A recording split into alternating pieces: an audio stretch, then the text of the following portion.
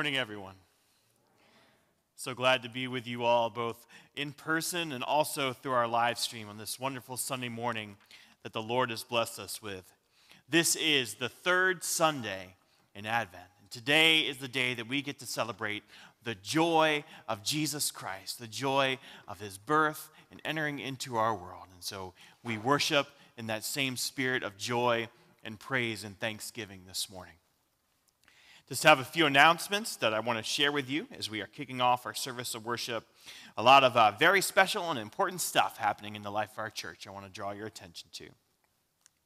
Uh, the first one is on a very practical note. I just need a couple more Advent readers. So I need uh, one more person uh, for this service, uh, the 11 o'clock uh, next week, and also for the Christmas Eve service at 4 o'clock. And so if you're able to help out with that, please just let me know. I uh, also want to share with you about a very special project that our missions committee is undertaking. I'm going to share with you about it.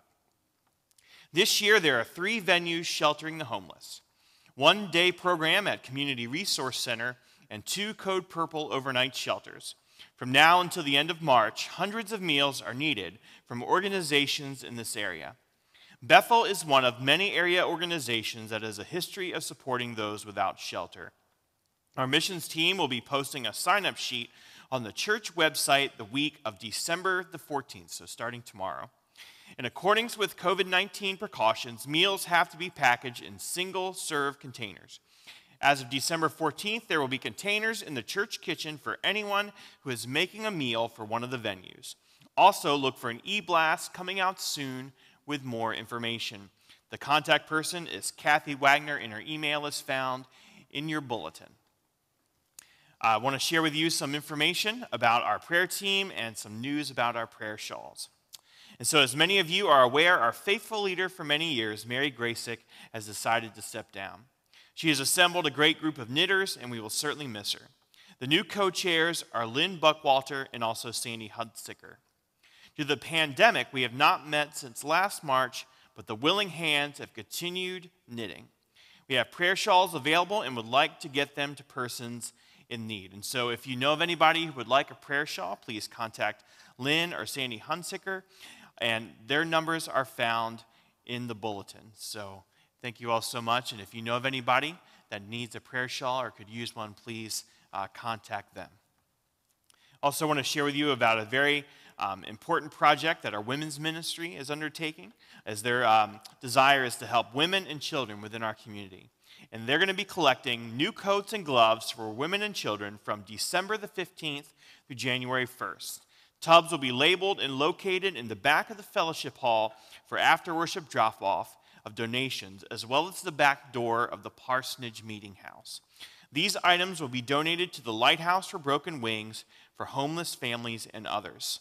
And so many thanks in advance to our church family. And if you have any questions, you can contact Amy Chasen, and her email address is found inside of the bulletin. I also uh, want to draw your attention to an announcement from our trustees. I want to share that um, we are filling up for our Christmas Eve services. And so um, our four o'clock service in the fellowship hall is now reached capacity. So um, we still have space at our seven o'clock service in the fellowship hall and also our 11 o'clock service in this sanctuary. So you want to make sure that as soon as possible you are RSVPing for our Christmas Eve services if you haven't already done so. You can contact the church office, and there's also a link on our website. And please make sure each and every week um, that you RSVP for all of our in person services. And so, those are the announcements that I have to share with you. You can also uh, peruse the bulletin for any others. But at this time, I invite you to bow your heads with me as we pray. Oh Lord God, we thank you for the joy and the blessing it is to gather. Whether we gather right here in the sanctuary or in our homes, God, your presence and Holy Spirit are with us. And so, oh Lord, fill us. Fill us to overflowing. God, let us feel your presence with us. Let us feel the joy and the love that you share with us. And so, Lord, may we worship you this morning with all of our heart and mind and soul and strength. May we worship you, O God, with every fiber of our being. And So, O Lord, enter us, fill us, use us to shine your light and to share your love with others. And it's in Christ Jesus' name that we all pray. Amen.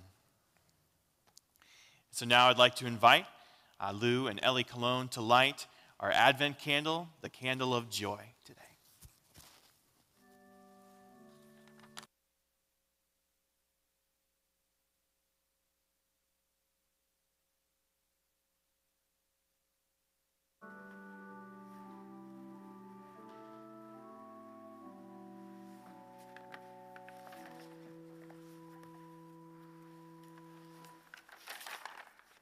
Good morning. I'm reading from Isaiah chapter 35, verse 10. And the ransomed of the Lord shall return, and shall return and come to Zion with singing. Everlasting joy shall be upon their heads. They shall obtain joy and gladness, and sorrow and sighing shall flee away. We light this candle as our symbol of Christ our joy. May the joyful promise of your presence, O God, make us rejoice in our hope of salvation. O come, O come, Emmanuel. Amen. Thank you.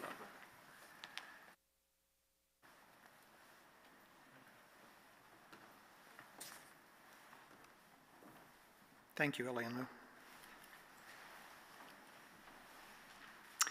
If you're able, would you please stand and join me in the call to worship? Let's read responsively. Be patient, wait, and watch, for the Lord is drawing near to us. We have gathered here this day to hear the good news and to gather strength for the times to come. Be at peace with one another. Let love and wisdom prevail. Open your hearts and souls to God's healing word. Lord, touch our hearts. Teach us to patiently listen to your words of love and joy. Amen. Opening hymn is O Come, O Come, Emmanuel, found on page 7 in your bulletin.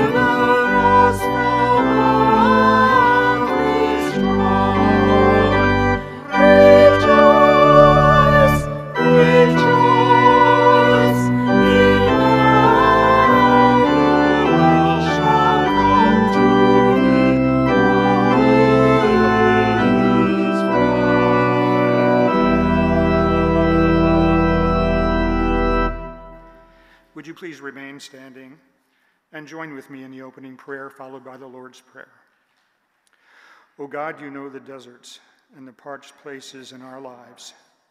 We seek your healing power.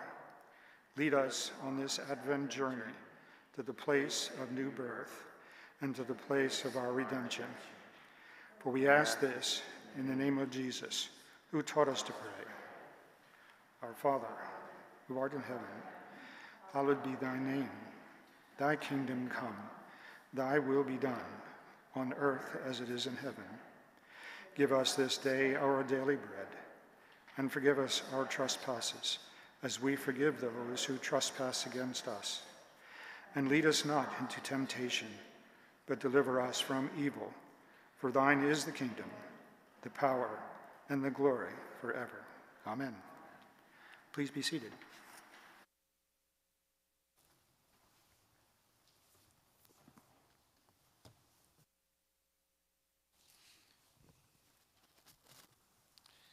And so now, this time, we, as the family of God, go to the Lord in prayer.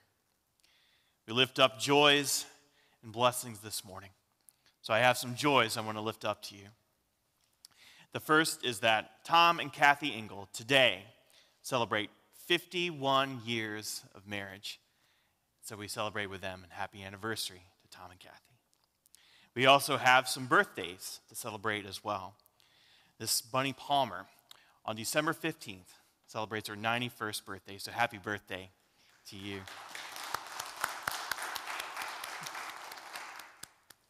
And also, our awesome music director Joyce has a birthday on December the 18th. I had to get you again. Happy birthday to you, Joyce.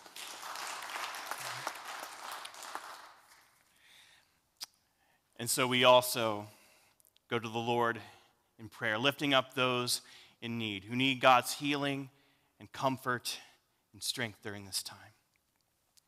We lift up Lynn and Rob and Belzy, who are currently hospitalized. We lift up Jim Hubin. We lift up Mary Sherber and Patty Neemsick Smith. We lift up those who are battling COVID 19. We lift up Myrna Chalise. We lift up Lorraine Layton.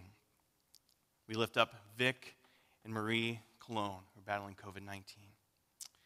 We also lift up sympathies for uh, Rachel, who is the daughter in law of Marshall and Nikki Trigg. Her father, Bobby, passed away on December the 10th. And so let us continue to pray for all of the doctors and nurses and every medical provider on the front lines during this pandemic, that God would send an edge of, an extra hedge of protection and blessing upon them and all their families. So I invite you to bow your heads as we pray.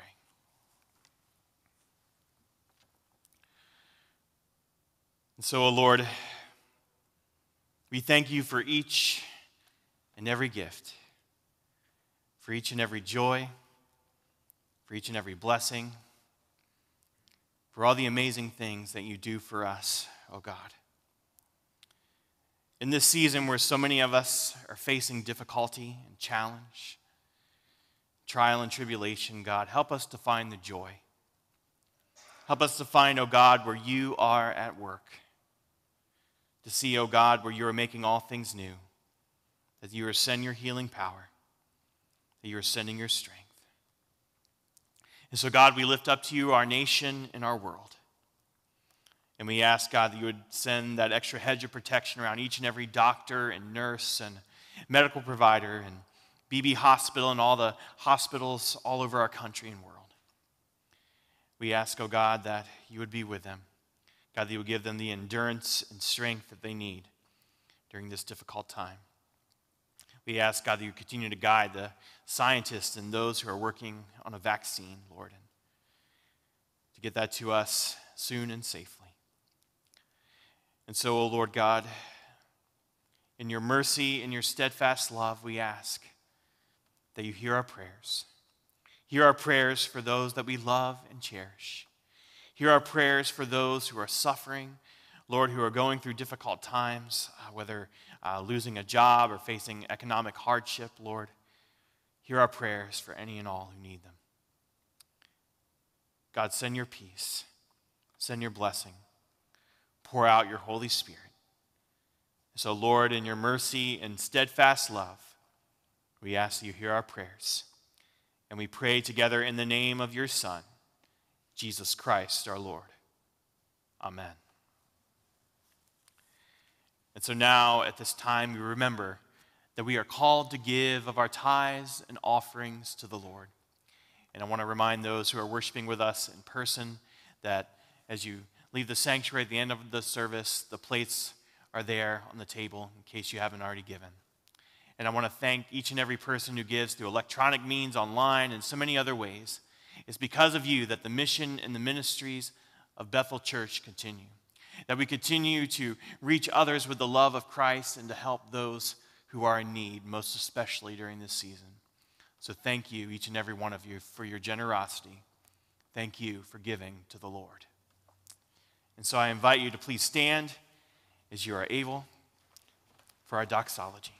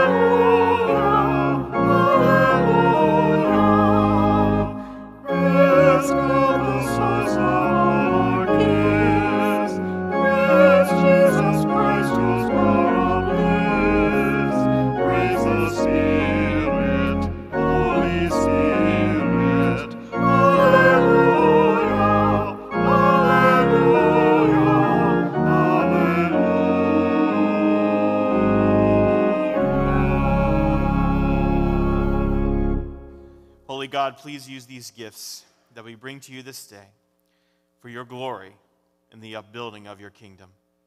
Amen. And so now please remain standing for the reading and the hearing of the gospel. Oh, thank you. So now, we prepare the way of the Lord. Let's do that.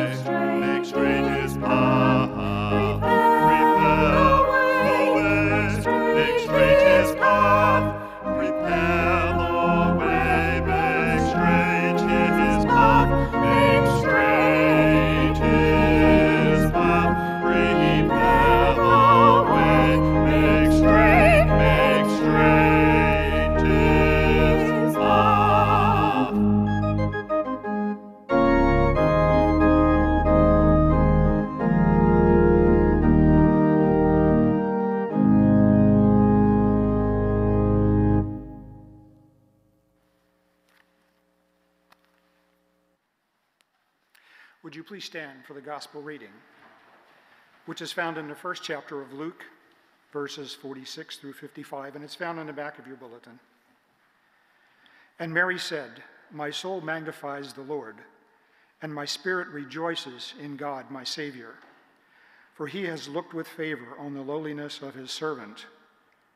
Surely, from now on, all generations will call me blessed. For the Mighty One has done great things for me, and holy is his name. His mercy is for those who fear him. From generation to generation, he has shown strength with his arm. He has scattered the proud in the thoughts of their hearts. He has brought down the powerful from their thrones and lifted up the lowly. He has filled the hungry with good things and sent the rich away empty.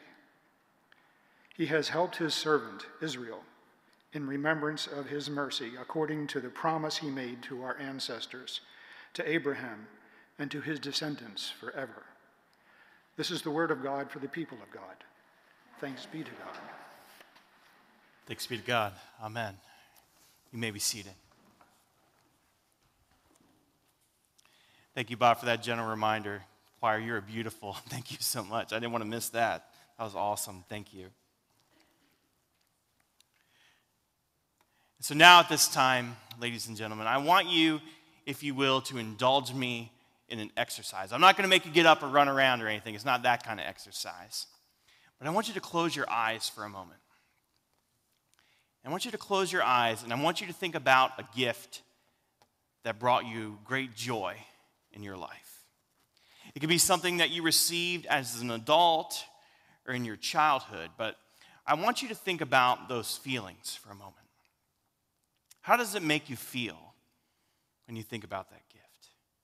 What kind of emotions are flooding your mind as you reflect upon this gift?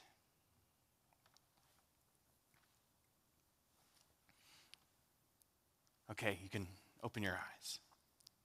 Max Lucado, in our study together, because of Bethlehem, talked about a bike. His favorite gift that he remembers growing up was a red Schwinn bike complete with a banana seat and monkey handlebars. He prayed for that bike, he longed for it, and he even thought about it in his sleep. And once he got that bike for Christmas, he was absolutely elated. He remembers the joy and the bliss of riding that bike around and admiring it daily. He would almost say that he worshiped that bike. And for me, my favorite gift when I was a child was a Nintendo Entertainment System. The year was 1989, and I was a little over six years old. I remember seeing that gift underneath the tree and feeling absolute elation, the most I had felt in my six years of existence. My dad couldn't hook it up to the TV fast enough. I remember years and years of playing Super Mario Brothers 1, 2, and 3, Duck Hunt complete with the light gun, Bump and Jump, and Excitebike, and many, many more.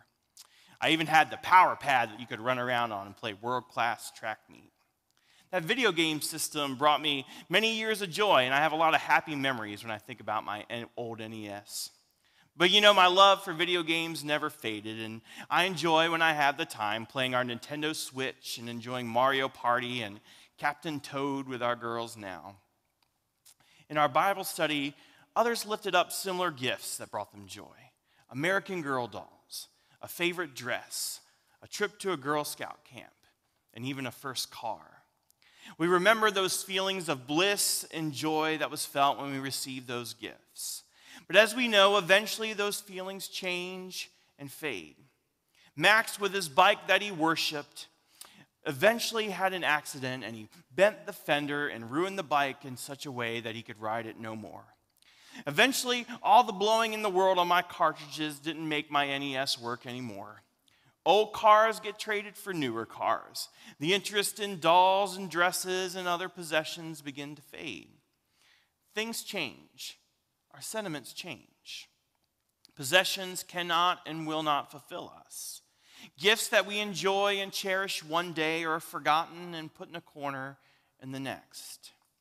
You know, there are no earthly things that will completely fulfill us. Possessions fade, wealth can't make us happy. People in our lives will disappoint us, and we know that we ourselves don't live forever. Health isn't always guaranteed. There is no amount of food or earthly pleasure that will make us happy indefinitely. It's like pouring water into a jar with a hole in it, it'll never get filled. The only thing that will ultimately fill us is our relationship with God. It is the one thing that we can hold on to that will never, ever fade. It's the one thing that we can always hold on to whenever things are going absolutely wonderful in our lives or when things are completely miserable. It's the one thing that will give us strength when we go through this thing called life with all of its ups and its downs and its joys and sorrows. So, I want to share a quote with you this morning that I think is worthy of our reflection.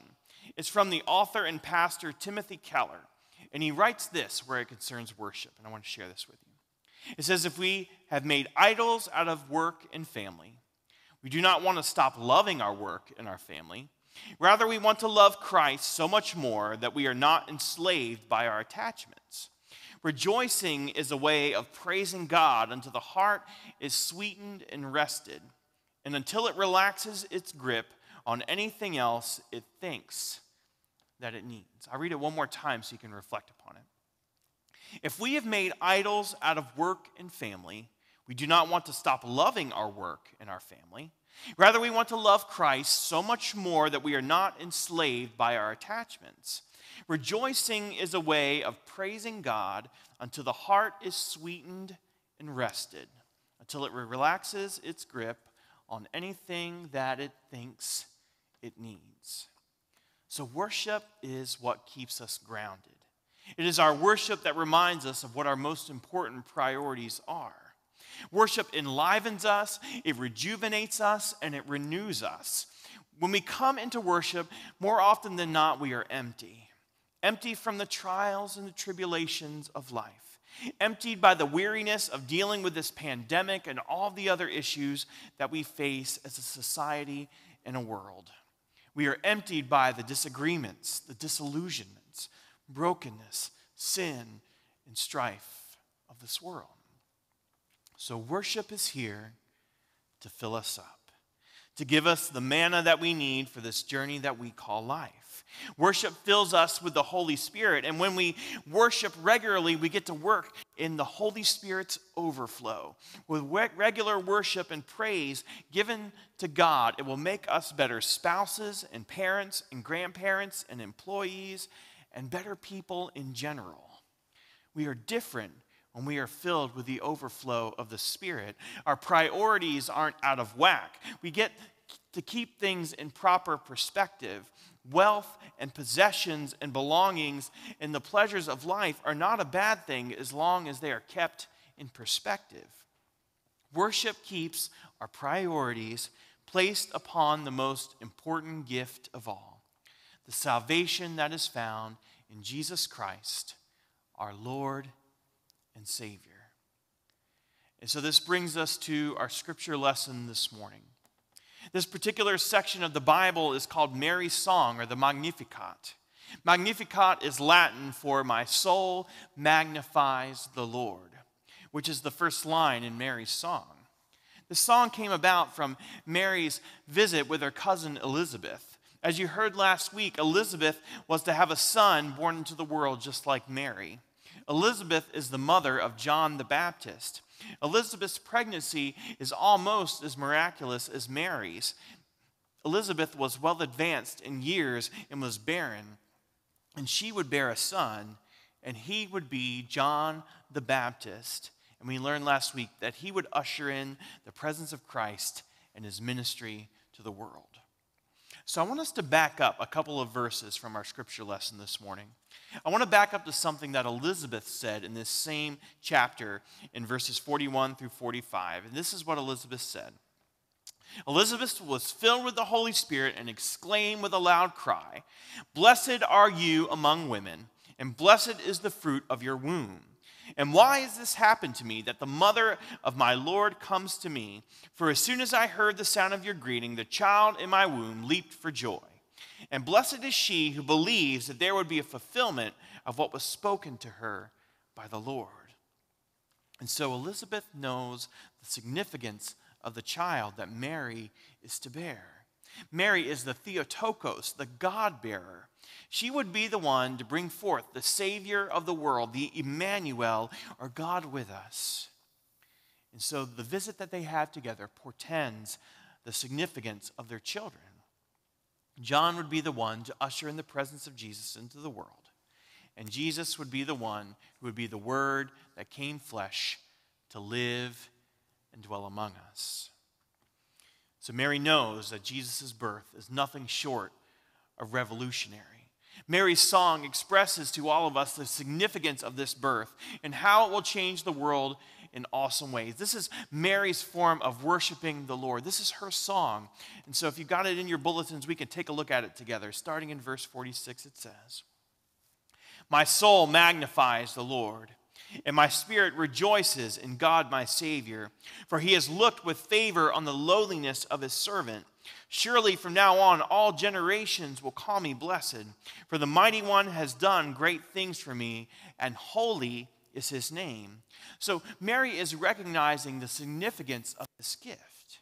Mary was but a teenager, probably somewhere in the vicinity of 14 to 16 years old, but yet in her maturity and faith recognizes the great responsibility that she bears. Mary knows that because of this gift, she will be revered and respected forever. A lowly girl who came from lowly means, with no power or prestige of any kind, would be the one to bear the Messiah into the world. Mary stepped out on faith allowed the Spirit to impregnate her, and risked losing Joseph and being ostracized by her family and society to bear the Messiah into the world. We should not overlook the significance and power of Mary's faith for bearing the Christ child. And so, in the verses that come after that, in verses 50 through 53, she shares how Jesus' birth will change the world. She says, His mercy is for those who fear him from generation to generation. He has sown strength with his arm, he has scattered the proud in the thoughts of their hearts. He has brought down the powerful from their thrones and has lifted up the lowly, and he has filled the hungry with good things and sent the rich away empty. So the reign of Christ will change the world in ways that no one thought possible. He made things topsy turvy from what we would expect in the world. The proud are scattered, the powerful are brought down from their thrones. He lifts up the lowly, fills the hungry with good things, and sends the rich away empty. What does this mean? What this means is that Christ's ministry is for us all, most especially the least of these. Christ came to help the poor and the downtrodden, to lift up those who are outcast, the pariah, the untouchable. He came to feed the hungry, give water to the thirsty, to clothe the naked, to heal the sick, to bring down those who seek to kick others while they're down. He speaks truth to power and humbles the kings and Pharisees and religious leaders who think that they're better than everyone else because of their wealth and power and status prestige. He changes the world by showing that in God's economy we are all equal. The servant who shines the shoes of the king is just as precious in the eyes of God as the king himself. So, does this mean that there's no hope for the wealthy and successful? Does this mean that God looks down upon those with wealth and power? No. What it does mean is that for those who do have wealth and power and notoriety, there's great responsibility. It is the God given responsibility to do all that we can to lift up the downtrodden, those who are down on their luck, and the lowly. Those with wealth and power that humble themselves and take care of the least of these are viewed as precious in the eyes of God. With great power and wealth come responsibility. We're to use our success and blessings to in turn be used to bless others. If we do this, we too will be precious in the eyes of God and will be fulfilling the greatest commandment to love God with all of our heart, mind, soul, and strength, to love our neighbor as we love ourselves. In the last two verses of the Magnificat, Mary calls God's people to remember. She says in verses 54 and 55, He has helped His servant Israel in remembrance of His mercy, according to the promise He made to our ancestors, to Abraham and to his descendants forever. You see, God keeps His promises. God has been with His people and will always be with His people. There are many ways in which we sin. There are many ways in which we fall short and have been disobedient to God, but yet we remember. We are meant to remember. Let us remember the good things that God has done for us. Let us remember the blessings that He has placed in our lives and the joy and the love that He's shared. I want to remind you of God's promise to Abram, who would later be called Abraham, in Genesis chapter 12, verses 2 and 3. And it says this I will make of you a great nation, and I will bless you and make your name great, so that you will be a blessing. I will bless those who bless you and the one who curses you I will curse, and in you all the families of the earth shall be blessed. You see, God promised Abraham that his people would be blessed. He would make a nation of the people of Israel, and in turn, all of us a great nation. This will be fulfilled in Jesus Christ coming into the world. The gift of the gospel is not just for the chosen people of Israel. Christ came for the Samaritan, the centurion, the leper, the least of these, and all of us. Today, we lit the pink candle of Advent. The pink candle reminds us of joy. It reminds us of the birth of Christ coming into the world, something that brings some of the greatest joy that we've ever experienced in our lives. There's no greater gift than this. No bike, no Nintendo entertainment system or car can ever top the gift of Jesus Christ coming into the world to save us from the power of sin. So let us give Christ the honor and the glory that he deserves. In this Advent season, let us together make sure that we have our priorities straight. Put worshiping the King first. Put your relationship with Christ first. Put being the light of the world, shining in a world filled with darkness, as your first priority in this Christmas season. I guarantee you, if you do, your life will never be the same. It will amaze you how much stronger your relationships with your family and others will be, and how blessed you will be if you do. Don't attempt to satisfy yourself with the possessions and the things of the world. It will always disappoint you in time. A relationship with Jesus will never disappoint. The gift of salvation and eternal life will never fade and it never gets old. So, dear church, we must share the greatest gift ever given. Share the joy of the Lord, the joy of Christmas, and the joy of Jesus. Be blessed, and let us draw closer to the Lord each and every day during this season of Advent. Will you pray with me? Oh Lord God, as we worship you this morning, as we hear your word proclaimed, God, you fill us up. You give us that holy manna. God, you pour your Holy Spirit into our lives in such profound and amazing ways. God, may we feel your presence in an awesome way. God, as we give you the honor and the glory that you so richly deserve, help us, Lord, to work in the overflow. Help us to be faithful in prayer. Help us to be faithful in studying your word and to be faithful in worshiping you. Let us work in the overflow, putting our relationship with you first, and we will see our relationships with others change. We will see, O oh God, the blessings that you provide. And so, O oh Lord, use us, equip us, make us into the people that you've called us to be. O oh Lord God, may our lives exude your joy that others will see it and want to be a part of it as well. And so, Lord, help us to be a witness Help us to shine your light. Help us to share your joy with others in all that we say and all that we do. And it's in Christ Jesus' name that we all pray together. Amen. And so I now invite you to please stand if you're able for our final hymn of praise. Lift up your heads, ye mighty gates.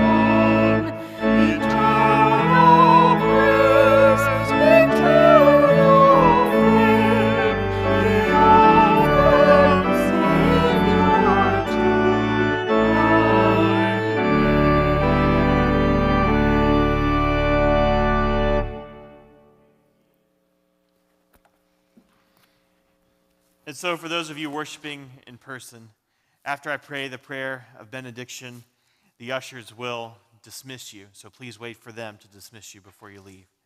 And also, if you would like to receive prayer, just let the ushers know, and you just remain right where you are, and I would be honored to pray with you after I greet everyone as they leave. And also, for those of you worshiping online, um, after I greet those that, um, and also provide prayer, I will log into Zoom and pray with any who would like to receive prayer in line. So let us pray.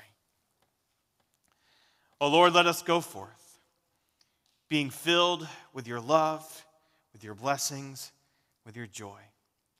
Use the one life that you've given us, O oh God, to share your joy with others in all we say and all we do. Let us now go forth in the name of the Father, and the Son, and the Holy Spirit. Amen. Amen.